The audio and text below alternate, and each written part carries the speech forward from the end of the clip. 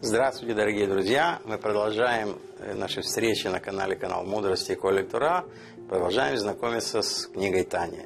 Сегодня мы рассмотрим с вами восьмую главу этой книги, подведя коротенький итог предыдущим двум главам. Итак, в прошлый раз мы определились, что э, душа, чистая, высокая душа опускается в этот мир – и начинает заниматься работой в этом мире, соответственно, касаясь нечистот и всего, что есть в нем. И как этого избегать, то есть что происходит при этом. Но что же все-таки произошло, если действительно в ходе нашей жизни и работы мы что-то, не дай бог, нарушили? То есть или даже, не дай бог, коснулись чего-то запрещенного, да, то есть приняли, да, сделали что-то запрещенное, съели что-то неразрешенное, или сделали что-то запрещенное, или наоборот не сделали то, что нужно сделать. То есть, если сделали такое, из вещей, как мы говорили, запрещенных, или как мы называли хасурим, связанных, да, которые мы невозможно нам извлечь из них искру святости, то мы говорили уже, что опускается эта искра этой святости опускается опять в эти черные клепот. Кроме того, туда э, опускается и та духовная энергия, которую мы затратили для того, чтобы это сделать, как в любой вещи у нас основа всего это духовная энергия. А если мы сделали что-то да, из разрешенного, но опять-таки не во имя Всевышнего, а потому что нам так хотелось. Да, вкусненько поели, кошерное, только потому что хотели вкусненького. Там, почитали книжку только потому что хотели расслабиться. Не, не просто так вот захотелось анекдот приятный послушать, просто посмеяться.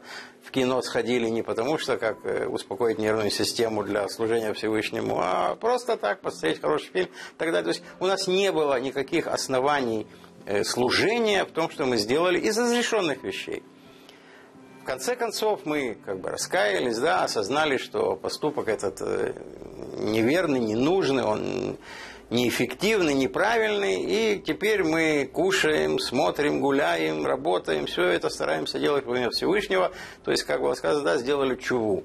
И даже повезло нам, мы сумели сделать чуву из омкаделиба, то есть из глубины сердца, и тем самым даже сумели каким-то образом поднять даже те запрещенные крупицы, э, которые упали очень низко, потому что чува была очень глубокая. Дай Бог, чтобы кто-то этого достоился не знаю, насколько это реально сегодняшних наших силах, но дай Бог. Что же дальше? Дальше Алтереба говорит нам, есть все-таки несколько вещей. Даже после того, как мы сделали чува, даже после того, как те искры святости, которые остались в клепат много, да, из-за того, что они были сделаны э, без правильных намерений, теперь они поднялись и заняли свое достойное место в мирах святости, тем не менее на душе и в нас остается то, что называется решимо. Решимо очень интересное слово. Решимо, с одной стороны, это можно перевести как впечатление или как след. То есть остается какой-то отпечаток на нас от неправильного действия. И вот окончательно этот отпечаток снять это уже происходит после того, как душа покидает тело. После 120 душа возвращается, да, человек, скажем, умирает, душа поднимается, и вот тут происходит э, как бы вот эта вещь, снятие этого решима. Каким образом? Алтереба говорит, что альпи кабола, альпи значит, тайных сведениях, то есть есть несколько этапов. Есть то, что называется встряска в могиле. Хибута кевер – Сряска в могиле, назовем это так. Опять, пожалуйста, только понимайте, что это абсолютно условные названия. Это не значит, что кого-то там берут за руки, за ноги и трясут в могиле. Это условное название. Происходит какое-то действие, которое как встряхивание. Знаете, если помните, когда-то э, для выходцев из бывшего СССР, вы помните, неизменным атрибутом каждого еврейского дома и каждого каждого культурного дома был ковер. Да? Обязательно должны быть ковры. Чем ковер был лучше, тем считалась семья зажиточней. Но эти ковры как бы даже пылесосом убрать было тяжело. Поэтому что делали? Чтобы окончательно выпить из них остатки пыли, что выносили во двор, помните, вешали на веревку и такой специальной палкой, выбивалкой из них выбивали остатки пыли. То есть встряхивали их так, чтобы все из них ушло. По аналогии с этим, скажем, вот это можно назвать. То есть остаточные вот эти вот следствия, налеты, да, которые оставили нам наши нехорошие, неправильные поступки, потом могут быть сняты встряской. Вот такой операция называется встряской могиле по аналогии. Опять-таки, как это происходит, не знаю, не могу вам сказать. Человек не запоминает это, но это есть. Есть же еще, кажется, более какие-то тяжелые случаи, когда необходимо, то есть если человек занимался, э, как говорит нам Тора, вещами, которые уже меньше связаны с телом, больше связаны с разумом, скажем. Э, то, что мы говорили в прошлый раз – швейцарство, хвастовство, пустословие, какие-то, как говорила моя бабушка, пестыманцы, пустые разговоры, ничему не связаны, ничего не привязаны. Тут оказывается еще сильнее, тут страшнее. Тут нужно будет то, что называется кафакела. Кафакела это как бы стрельба из, из прощи. То есть, как будто э, говорят э, мудрецы, что как бы душу человека кидает из мира в мир, да, как бы его раскручивает и кидает из мира в мир для того, чтобы вытрусить из него вот эти остатки от этих глупых мыслей.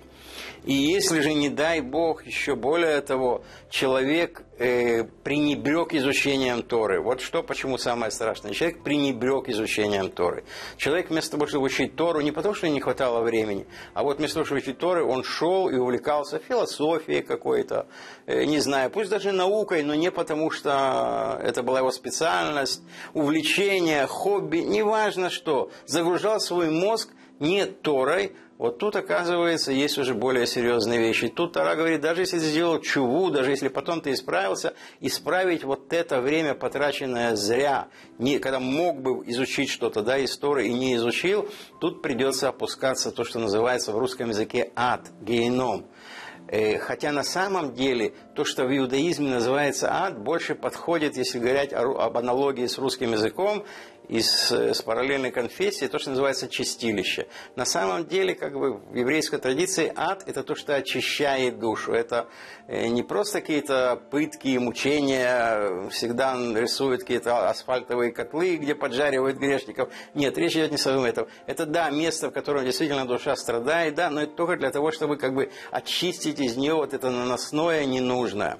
Поэтому говорят мудрецы, что очень важно для э, нас заниматься это свободное время по возможности, по, по силам посвящать Торе. Если мы отдаемся изучению других предметов, каким-то академическим знаниям просто так, а не во имя того, чтобы это стало, скажем, твоим инструментом заработка, как это было у очень многих мудрецов, там, того же Рамбама или Рамбана, которые занимались, скажем, обычными науками, но делали это не просто так из-за увлечения, а для того, чтобы, скажем, правильно знать астрономию, чтобы рассчитать правильно новомесячие или э, какие-то еще даты. И для того, чтобы понять... Э, когда будет высокосный год и невысокосный, скажем так, когда изучали медицину для того, чтобы лечить людей во имя служения Всевышнему. То есть, когда мы изучаем, как, как сегодня говорят, хелонические вольные науки для того, чтобы это был инструмент заработка или необходимость использования в работе, это нормально, это уместно. Но когда мы посвящаем это жизнь вместо того, чтобы посвятить ее Торе, то потом приходится в конечном итоге очищаться э, таком вот чистилище, в аду, геном он называется, как говорится, дай Бог, чтобы все его миновали. Это то, что подводит итог как вот описанию того, душа и ее спуск в тело. Итак, душа приходит от мир, у нее есть четкая задача, мы инструмент реализации этой души, и если мы не делаем все как правильно, то необходимо, по крайней мере, исправить, а в конечном итоге даже придется, скажем, его и почистить, такой своеобразный химчистки. Ну что, желаю всем мирного неба, доброго здоровья, хорошего настроения, и чтобы нам не пришлось много очищаться потом, чтобы наша жизнь была прямая, правильная, как положено. Будьте счастливы.